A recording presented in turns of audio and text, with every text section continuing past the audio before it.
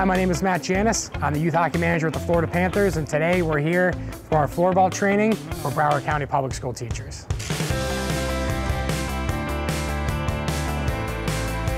So this event's all about getting teachers the skills they need and the ammunition they need to be able to bring floorball and hockey to their students. A lot of our teachers are going to come today and for the most part, most of them aren't going to be people who have been involved with the sport or coach the sport. So we want to be able to give them all the information they need to be able to go back to their schools and be able to properly convey it to their students. And when they leave today, they'll get equipment and be all set.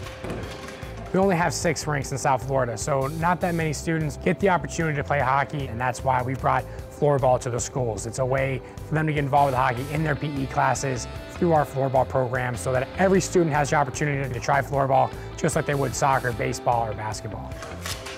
Floorball is a great alternative to ice hockey. It's much safer than the traditional street hockey that we always think about. We've had nothing but amazing success, and a lot of it goes to our dedicated teachers who are amazing with their students, teaching the proper rules and safety techniques, and do an amazing job of the program. Our end goal really is to impact the student. We want students to go through the program, we want students to be able to play hockey, to try floorball, Part of the equation is the equipment, the training, and then the teachers are the boots on the ground. They're a key unit and a key variable to help us with our ultimate goal of impacting students.